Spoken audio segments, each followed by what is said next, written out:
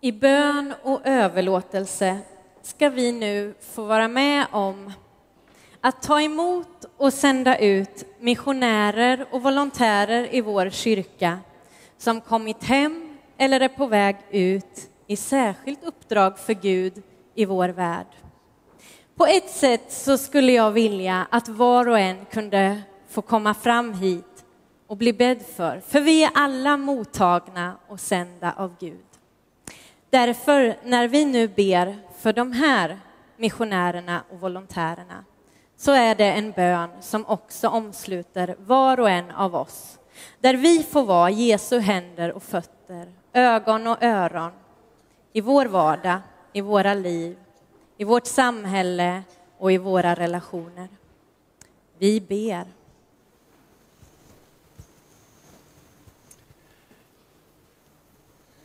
Det är en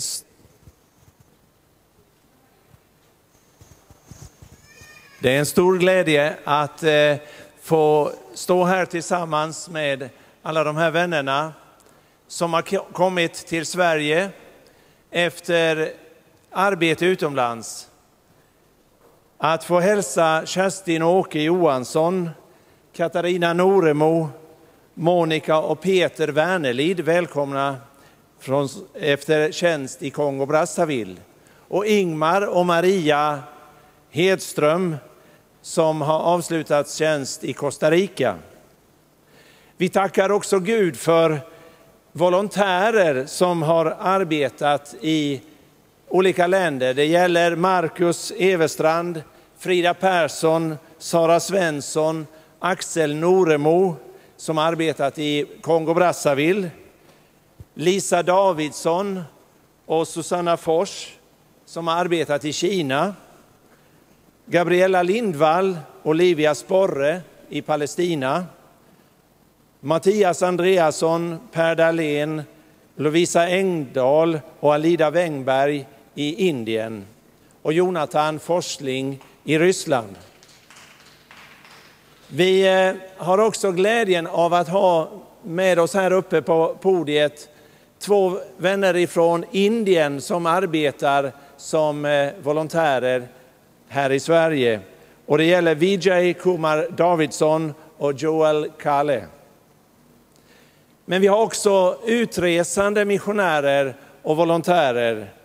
Och Mami och Rut Raharimananswa, de reser inom kort tillbaka för en ny tjänst i Kongo-Brazzaville.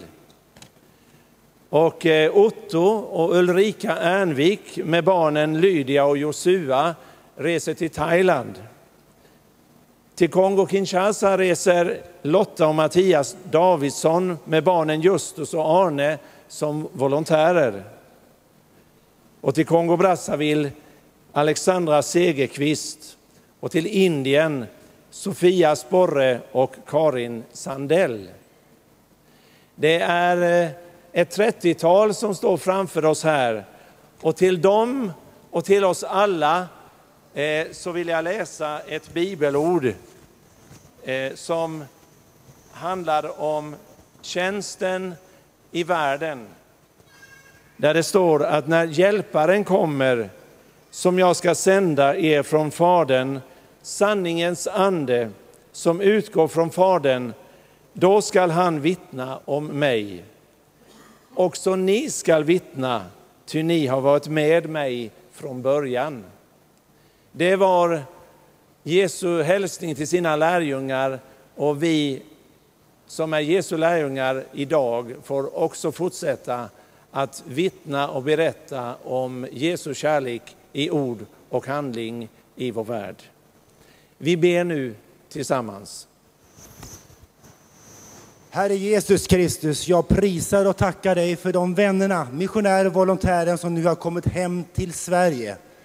Jag ber att deras arbete och deras relationer ska bära frukt i människors liv och få fortsätta att göra det i tro, hopp och kärlek och upprättelse. Jag ber även för dem att de ska få din hjälp att hitta sin plats och sitt liv här i Sverige eller på andra platser som de, de nu tänker gå in i. Det ber vi om i Jesu namn. Amen.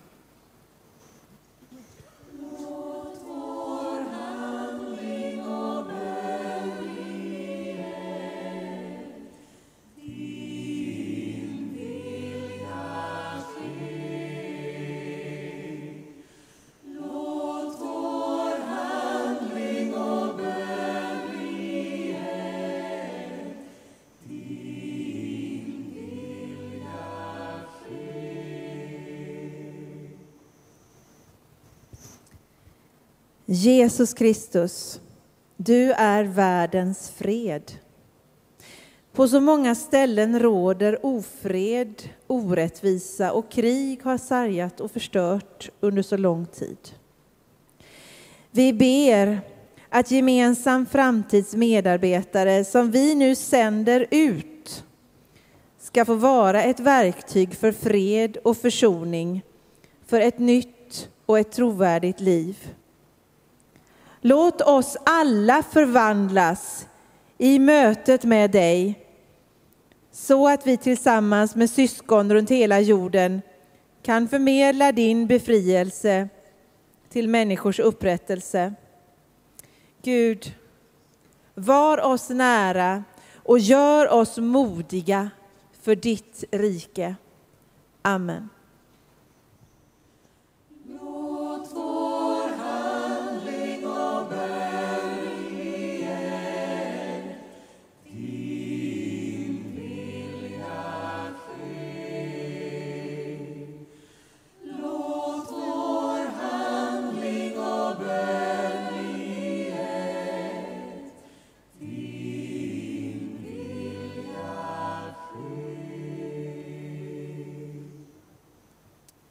Herre, vi tackar dig att vi får be om välsignelse över missionärer och volontärer som ställt sina liv till förfogande för tjänst i världen.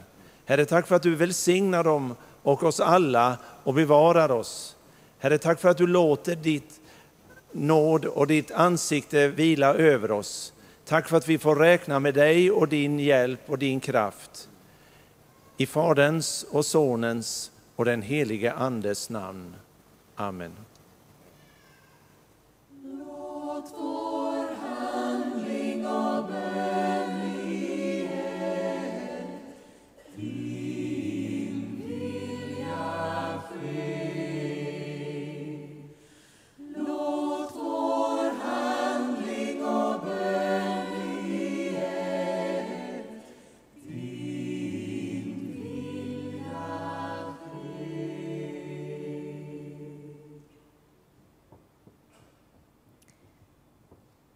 Tillsammans får vi nu förenas i den bön som kommer upp på skärmarna här.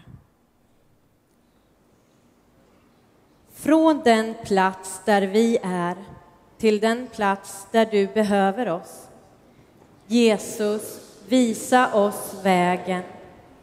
Från tryggheten i det välbekanta till äventyret i det du vill visa oss. Jesus, visa oss vägen. För att världen med allt den rymmer kan förändras och börja anta formen av ditt rike. Jesus, visa oss vägen. Eftersom något gott är förberett för dem som älskar Gud. Jesus, visa oss vägen. Allt vad ni har gjort för en av dessa mina minsta, det har ni gjort för mig, sa Jesus. När vi överlåter oss till honom så får det konsekvenser på olika områden i våra liv. Det handlar om vår tid, vårt engagemang och också om våra pengar. Därför ska vi nu ta upp kollekt i den sång som vi ska sjunga alldeles strax. Ett av kyrkans uppdrag är att tala för utsatta grupper i vårt samhälle.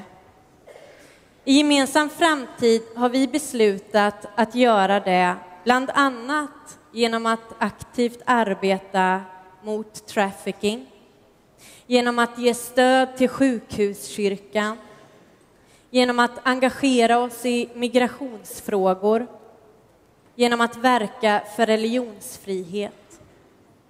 Till detta behöver vi samla våra resurser så att vi kan göra en gemensam insats. Så låt oss nu tänka särskilt på de människor i vår värld som idag lever mer utsatt än vad många av oss gör. På de som idag har större behov än vad många av oss har. Det är vårt uppdrag och vår kallelse att finnas till för varandra. Vi ber för de pengar vi samlar in och för det arbete som görs. Herre, tack för att du tar emot varje människa som ditt barn. Tack för att du tar emot av allt som vi försöker att ge tillbaka till dig. Välsigna nu varje krona av det vi ger så att det blir förvandlat till goda gärningar i och för ditt rike. Välsigna också varje människa som kommer i kontakt med det arbete som görs genom våra gemensamma resurser.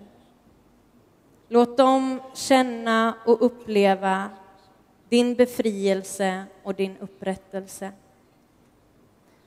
Välsigna också var och en som ger av det som de har fått av dig. Amen.